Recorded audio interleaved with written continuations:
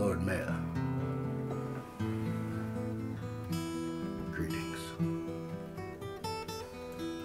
I woke up this morning realizing that we had unfinished business.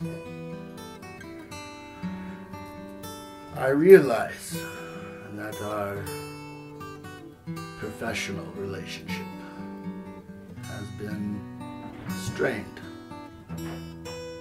various ways over the years. Mostly, the simple fact that I'm a mercenary and I take the jobs as they come.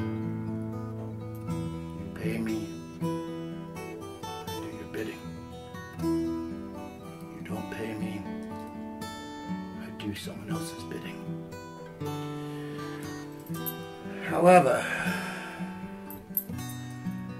three days ago, three men came for me. Englishmen, courtesy of the throne. And they were carrying coin. I'm sure you recognize it. I am willing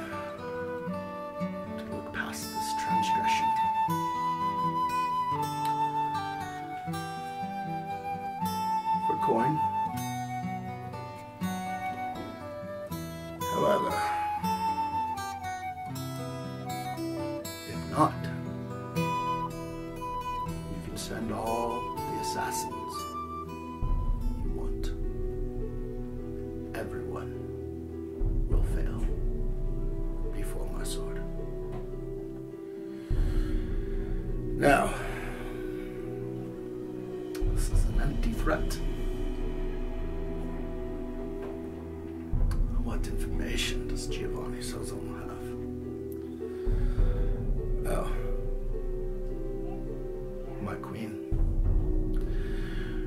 We wouldn't want certain irritations to get out. And the fact that uh, Giovanni Salzano quietly took care of those irritations for you. Mainly several of your handmaidens vying for the throne. They're gone now. My king, we uh, would not want the fact to get out that you have an axe fetish. And uh, several of your queen's heads have uh, rolled.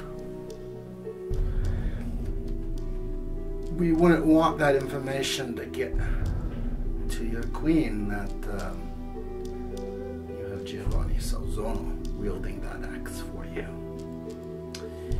And uh, if it was not for the queen with a certain knight that jousts at fair, her head would have rolled last month.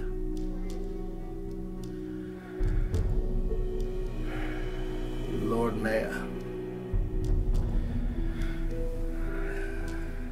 It is well documented that you are a man of ambition, desire,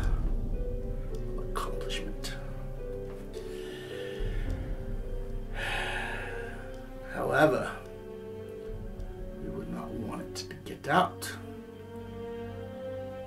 that uh, you want the throne for yourself. That you feel, as Lord Mayor, that you are the one in charge of the festival. That you are the one that wields the true power. That you are the one that requires people to bow to you. And that they only bow to the king because you tell them to. We would not want that information to get out that uh, two months ago you ordered me with handsome coin to dispose of the king. If it were not for circumstances people that uh, you had me to get dis- get disposed of first, before your plot was known. However, I'm sure that such information, that such desires of yours to replace the king and make you king, are not far removed from your memory. Your Majesties, Lord Mayor, I am willing to look past this convenient information and look past your transgressions against my honor for trying to kill me. If you pay me, I will be quiet. However, if you betray my trust, if you send any more assassins after no darkness, no shadows where that information can hide, where it will not come to the light of day.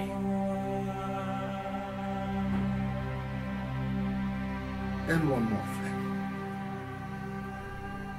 Next time you try to kill me, don't send Englishmen. At least send an Italian. They would have a fighting chance. Good day.